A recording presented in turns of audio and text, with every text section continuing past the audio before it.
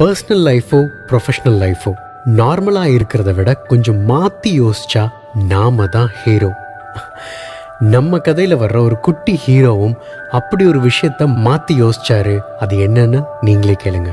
ஒரு ஊரில் ஒரு அழகான குளம் இருந்துச்சு. அந்த குளத்துக்கு பக்கத்தில் ஒரு குட்டி வீடும் இருந்துச்சு. அந்த வீட்டில் ஒரு அம்மாவும் பையனும் வாழ்ந்துக்கிட்டு இருந்தாங்க. அந்த பையன் கொஞ்சம் கொஞ்சமா அந்த குளத்திலேயே நீச்சல் கத்துக்கிறான். அவன் நல்லாவே நீந்தவும் ஆரம்பிச்சான். ஆனாலும் அவனோட அம்மா அவனை குளத்துல ரொம்ப தூரம் நீந்த விடாம வச்சிருந்தாங்க. ஆனா அந்த பையனுக்கு ஒரு நாளாவது அந்த குளத்துல ரொம்ப தூரம் நீந்தி பார்த்துடணும்னு ரொம்ப ஆசை.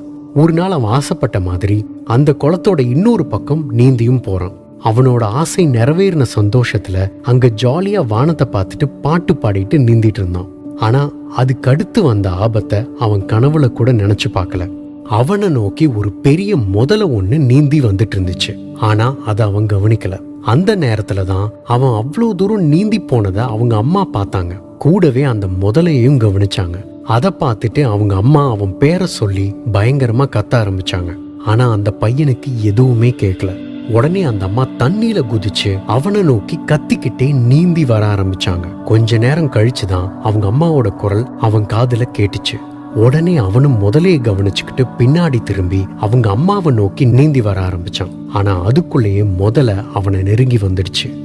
அது அவன் கிட்ட வந்து அவனோட காலை கடிச்சு இழுக்க ஆரம்பிச்சது. அவங்க அம்மா வேகமா நீந்தி வந்து அவனை அந்த முதல கிட்ட இருந்து பிடிச்சு இழுத்தாங்க. ஆனா அந்த முதல அவனோட காலை விடவே இல்லை.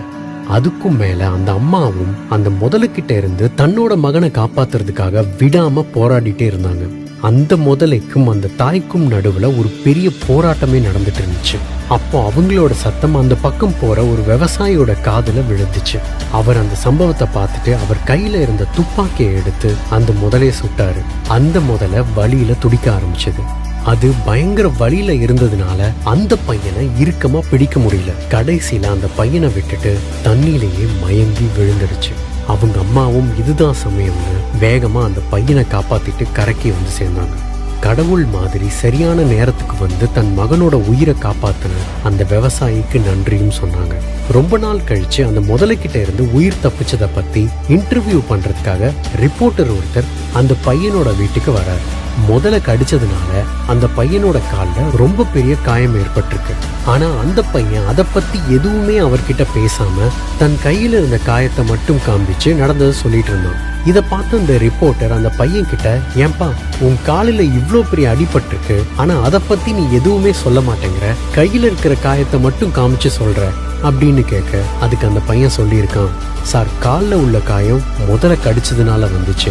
நான் பண்ண தப்புனால நடந்துச்சு. அதை நான் ஒவ்வொரு தடவை யோசிக்கும் போதும் எனக்கு வருத்தத்தை தான் கொடுக்குது. ஆனா கையில உள்ள காயம் என்னை விட்டுறக்கூடாதுன்னு எங்க அம்மா என்னை கெட்டியா பிடிச்சு இழுத்ததுனால வந்துச்சு.